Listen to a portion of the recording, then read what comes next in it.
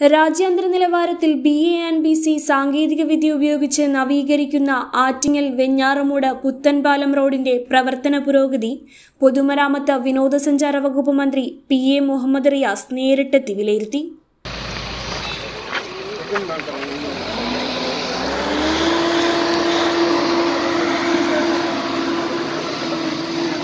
Attingal M L A O S Ambika Vamanapuram M L A D K Murali പൊതുമരാമത്ത് chief engineer Ajith Ramachandran superintending engineer Sudha executive engineer Jyothi assistant executive engineer Ajith Kumar assistant engineer Rucheesh എന്നിവർ മന്ത്രിയോടൊപ്പം ഉണ്ടായിരുന്നു.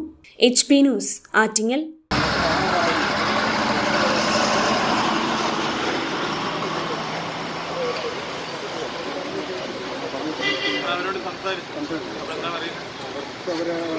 ரொம்ப risk ಏನಾಗುತ್ತೆ ಅದು ಕೊನೆಗೆ ಹಂಗೆ ರಾಮಿ ಕೊನೆಗೆ ಏನಾಗುತ್ತೆ